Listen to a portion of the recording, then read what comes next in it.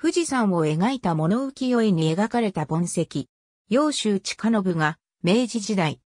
女性の趣味、たしなみの一つだった制作風景盆景とは、お盆の上に土や砂、石、苔や草木などを配置して自然の景色を作り、それを鑑賞する中国や日本の趣味、伝統芸術である。盆景は庭園、盆栽、生け花と同様に自然の美を立体的に写実、表現しようとする立体造形芸術である。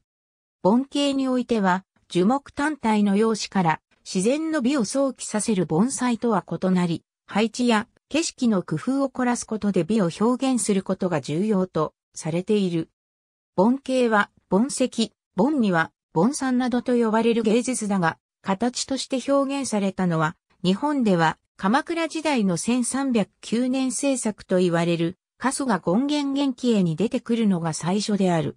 1620年、桂離宮を造営するにあたり、京宮自らの指示で庭師に、庭の見本を作らせた。これが箱庭の始まりとも伝えられている。その後中国からも盆景の技法が伝えられ、江戸時代には盆景の本が出版され、町人文化と共に愛用された。